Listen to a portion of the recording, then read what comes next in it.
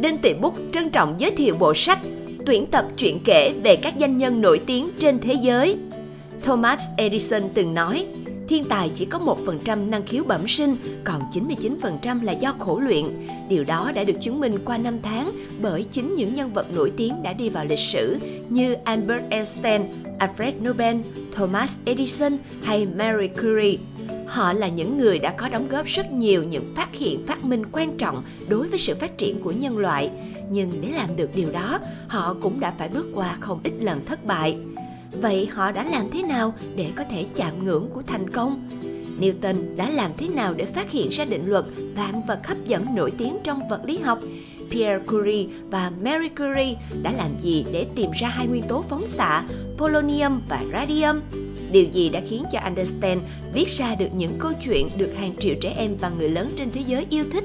Tất cả những điều đó sẽ được nhắc đến trong bộ sách tuyển tập những câu chuyện về các danh nhân nổi tiếng trên thế giới. Bộ sách gồm 5 tập, tái hiện lại những câu chuyện hết sức đời thường của gần 60 nhân vật nổi tiếng trong lịch sử. Ẩn sau mỗi câu chuyện dung dị đó đều là những bài học hết sức giá trị mà chúng ta cần học hỏi và noi theo.